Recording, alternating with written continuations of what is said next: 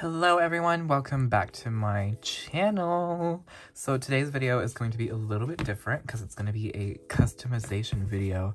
So my goal here is to turn this OMG body into a Bratz body.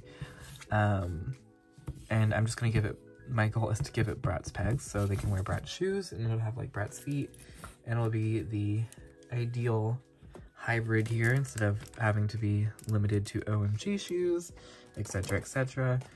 Um, I got this body, well, it was actual, it was a doll, um, Busy BB, obviously, on Mercari, so she was only 12 bucks, and yeah. So I don't know how we're gonna do this, but we're gonna attempt. So let's, let's try it. So admittedly, this video is very choppy because the time lapse was a lot faster than I thought it was going to be. So I had to like slow down this part to even make it like viewable. But basically, I just chopped off her foot with my rotary tool. I've never used the saw part on this before, so that was pretty fun. Um, I probably should have been wearing some sort of protective equipment, but you know, there's a reason why my pinky on my left hand looks the way it does. But yeah, this, these were pretty easy to chop off. Um, and then the Bratz feet, or the camera fell here and yeah, oops, oops. Anyways, the Bratz feet was pretty easy to chop off too. Luckily, to my surprise, the peg is a whole, like, well, it's not a whole, it is, but like the peg popped out without much interference. I don't know. Like, it was, like, look at that. It was like, oh, okay, well, that was a lot easier than I thought it would be. And so, yeah, then it was just, you know, having to put those pegs inside of the OMG body, which proved to be fun. See, so like right here, I'm trying to drill a hole through the OMG body. But because of the way the body is made, you can't really drill a hole through the bend and snap mechanism. And right here, I had to put a hole in the Bratz peg because I had to attach the peg with some wire and pin. Alright, so it was a little complicated, but I got a peg in. So what's making it so complicated is this plastic piece right here, which is what makes the leg be able to bend and snap. But speaking of which, can this one still?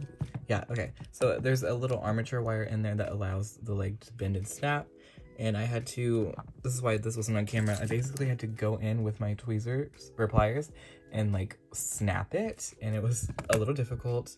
Um, this can be improved for sure, but um, the peg doesn't stay in by itself, so I put some wire in it. Um, I had to use this to put a little hole in the peg, and then I just ran some wire through it, and now we can put them on and off, so...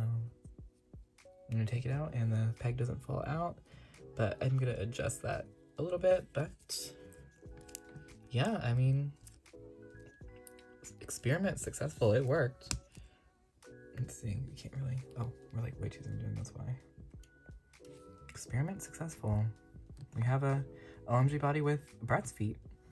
Alright, so I'm gonna go do the other one off camera and I will show you the final doll. Alright guys, so here is my finished doll see she has Bratz feet. Um, I used, I cut down the wire and yeah, it looks much better. And I also used pins on this side instead of the wire. And yeah, we have functioning Bratz feet here. I probably could have like cut the leg maybe to make it like, or left the peg out a little longer. I don't know.